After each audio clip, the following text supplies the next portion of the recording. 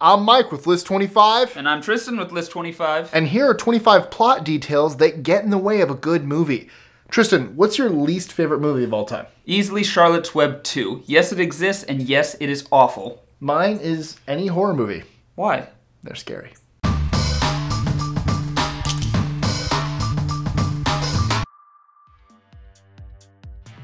Twenty-five. Empty cups. Who drinks air? This should be one of the easiest things to make believable. This is one of my biggest pet peeves. I can always tell when a cup is empty, You'd really enjoy Quentin Tarantino movies. but I don't. 24. Meme references. The worst part is that memes are here today and gone tomorrow. People won't even get the reference in two years. Did you know that cake is a alive? 23. Attractive, ugly characters. And then everybody makes fun of the attractive, ugly character for how ugly they are. 22. Swords being removed from leather sheaths.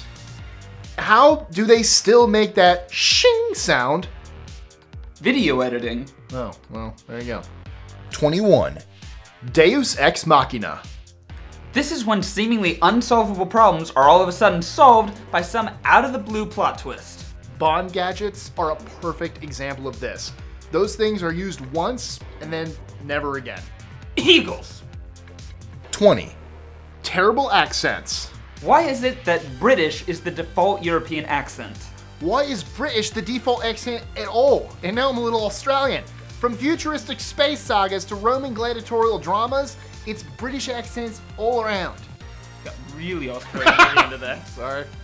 19. 35 year old high school kids. This counts for both the 10 year old that quotes Shakespeare As well as the 35 year old that was cast as a 10 year old. 18. Noises in space. It's a vacuum. How on earth would you hear anything? You wouldn't, because that's right, you're not on Earth. Attack of the Clones did it right with Jango Fett's seismic charges. And that's the only thing they did right. 17. Plot armor. Also known as character shields, this is when the main character just won't die because they're too important to the story.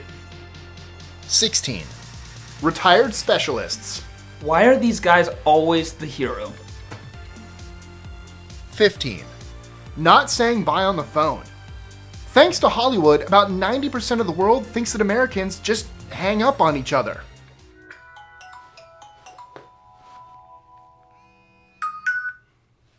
Hello? Hi. 14. Unlimited ammo.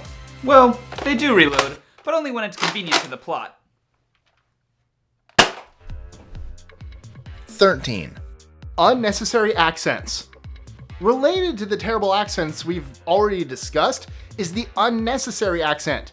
Why on earth would a movie set in Germany have native German speakers talking in English with German accents?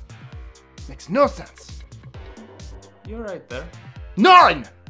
12. Heroes not finishing the bad guy.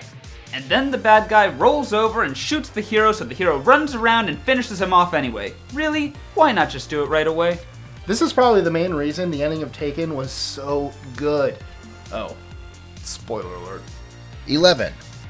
Bad guys who don't just kill the good guys. So we've cornered our nemesis, and now it's time for a speech. As soon as this happens, you know the good guy is gonna make it. Do you expect me to talk? No, Mr. Bond, I expect you to die. Great scene though. Great movie. 10. Banging on computers. No, hacking is not just typing really fast. What you typing there? No, well you're getting a Jar Jar. 9. 555 telephone numbers.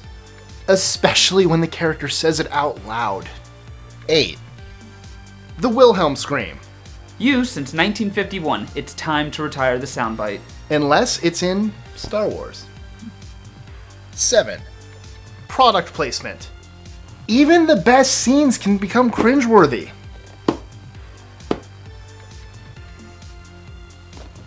Six.